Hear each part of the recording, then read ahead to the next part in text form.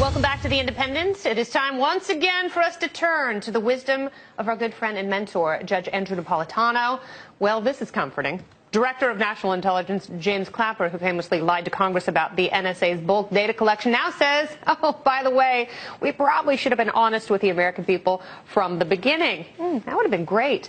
Clapper tells the Daily Beast's Eli Lake that after 9-11, the government should have been more transparent, told the American people why it was necessary to collect so much communications data. So uh, should I feel better about this, Judge? I really think he has no credibility uh, whatsoever after that famous where he rubbed his forehead lying and then was given the opportunity to correct that lie under oath by Senator Wyden. And by the way, Senator Wyden was in a box because he knew the truthful answer, but he wasn't able to say what the truthful answer was because he took an oath to keep the truthful answer secret.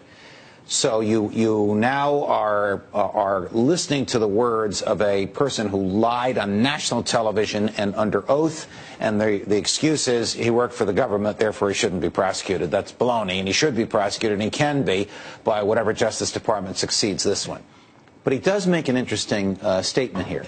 His statement is based on the political acceptability of telling us about spying, not on its absence of lawfulness or immorality. And he seems to feel if we had learned about this in, in the mania, in the crazy days that followed 9-11, we might have accepted it. Not that that would have made it legal, not that we should know that the Congress is doing this, not that, all, that, that, that even the Congress didn't know about this, but it would have been easier to accept had we known that. Uh, but he also uh, equated the, the data collection with uh, he and his wife buying fire insurance which, you know, this is an analogy that, that doesn't really hold up because if you are actively trying to protect yourself against something, you are participating in that exchange and that agreement. And you freely choose the product. Yes. As opposed to having your, your rights just stripped away by a decision of the president and a bunch of bureaucrats and 12 members of Congress also sworn to secret and 12 federal judges also sworn to secret. No great debate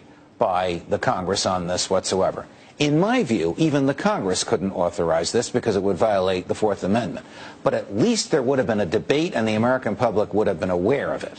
Uh, he seems to feel it would have been easier if, if, for us to accept it if it came out earlier. He might be right. Those days after 9-11 were so crazed, the public was willing to accept almost anything government decided didn't want us to know about it. It wanted its own interpretation of the uh, Patriot Act and the FISA laws uh, and it would spy on everybody the courts, the military, the CIA, the Congress, and all of us. Judge, not many Americans are aware that the whole idea of national secrecy in the name of defense is an artifact of a 1948 Air Force crash in which the Air Force was lying to the bereaved family about the nature of the crash. crash. It was actually a drone crash uh, for, for historical buffs. Uh, and they lied because they wanted to cover their behinds about having bad mechanical things. This led to U.S. versus versus Reynolds in 1953, which is the constitutional basis. And the doctrine of state secrecy. Is there any chance of that decision or the doctrine behind it to be challenged or overturned in the near future? Oh, absolutely. Uh, there have been numerous comments made by various members of the Supreme Court,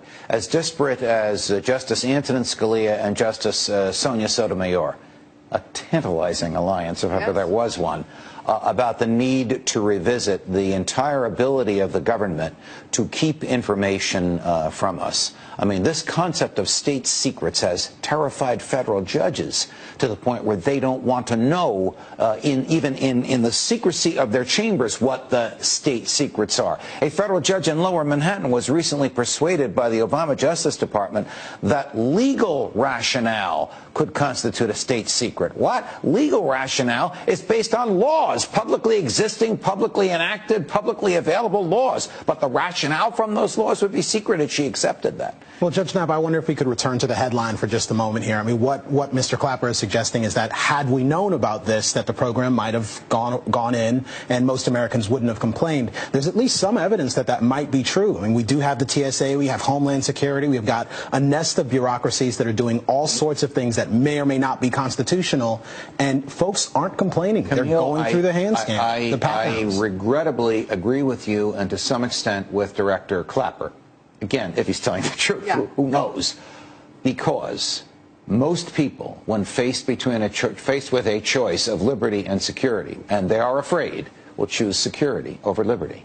And, and, and the Patriot Act passed with overwhelming majorities of both houses of Congress. This is the most unconstitutional, uh, repugnant, anti-American piece of legislation since the Alien and Sedition Acts. And it passed overwhelmingly in both houses of Congress because it was within uh, a month of 9/11. So we might have accepted it in, in that era, and we would have reject we would have regretted having accepted it. Okay, so let me ask you this: uh, Section 215 expires next year. Do you think it's going to be renewed? I don't know. I really, really think that the Congress uh, has a handle on this. A, a, a, good friend of ours and of the show, Uh, Congressman Justin Amash, who nearly had a majority of the members of the House to restrict the budget of the NSA, told me next year he will have the majority, that a lot of Democrats are coming in. This is before Senator Sanders, the socialist of Vermont, wrote to General Alexander saying, Are you spying on members of Congress? The answer was, Members of Congress get the same constitutional protection as other Americans. so, in other, say, words, none. yes. Yeah, so yes, we are indeed. Yes, I, right. I, I think you'll see some substantial change in the law when this comes up for renewal because they've gone way too far